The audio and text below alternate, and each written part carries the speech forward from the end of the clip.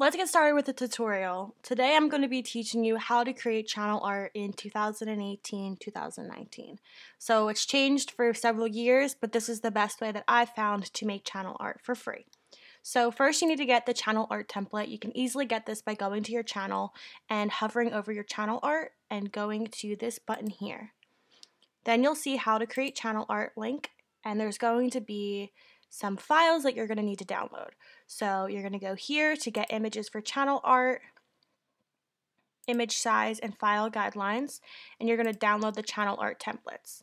Now in this folder, you're going to see two different files. You're going to see one that is a um, Photoshop, which is PSD, and you're going to see one that's a PNG. You want to save that one to your desktop and you want to use that one.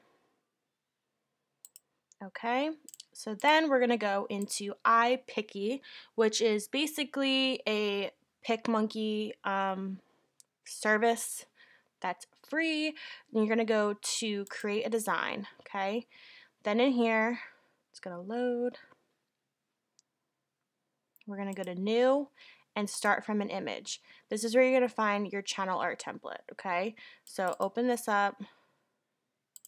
Wrong one. In desktop and then open this, okay? So this is what you're going to use to make your channel art. Now this gives you all the different dimensions. So this part here, the dark part, is where everyone will be able to see on their phone and also on their desktop. But if you have a bigger screen, such as an iMac or versus like a laptop, you're gonna see different bits of this. So it's important to put the most important stuff here where everyone will see it. And then this stuff over here will be for people that have bigger um, desktops, okay? So then what we're gonna do is we're gonna add a photo. To do that, we're gonna go to this button here, upload image, and we're gonna add our background. So you can find backgrounds pretty much anywhere online. I usually go to Pinterest just because I find it's the easiest. Drag this in, okay? Now we're gonna rotate this and make it as big as we need it for our channel art, okay? So typically you wanna have something that's big enough that's gonna fill this entire screen.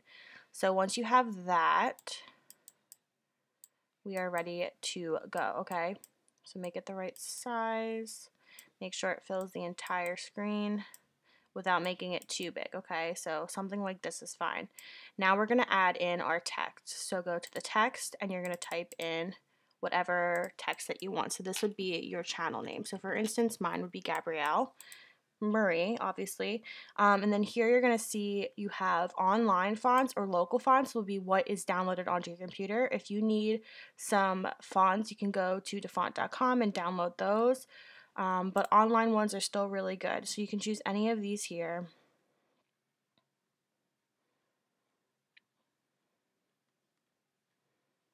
Let's see what they got. You know what? I think I'm going to go with lobster just so this video isn't super duper long, okay?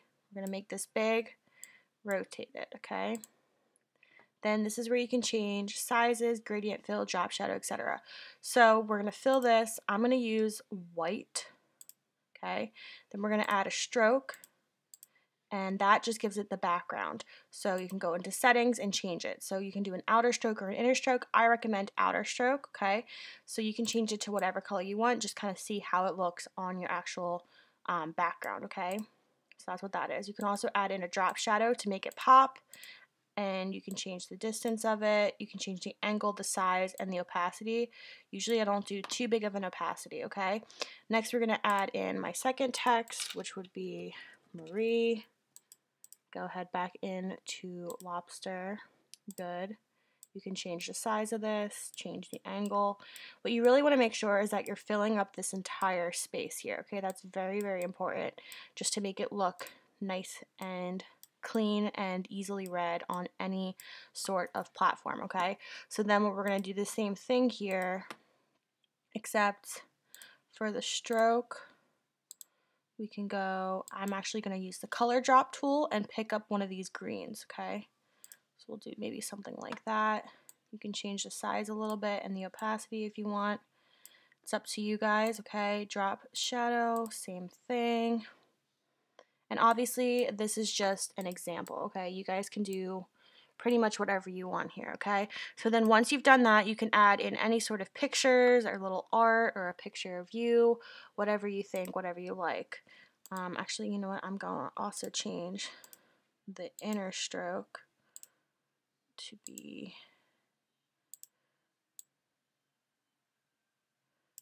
oh, you know what? I'm just kidding. I totally messed that up. Okay, let me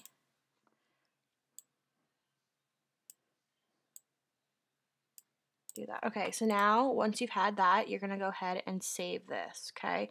So we're going to save it, and you're going to change the name of it. You could say new channel art. And you want to make sure that you do either high or highest quality and save that to your computer. Okay. Now when you go in, you're going to go to your channel art, click this photo, and now you can select the photo from your computer. And you're going to go in and select that that we just created here. Open.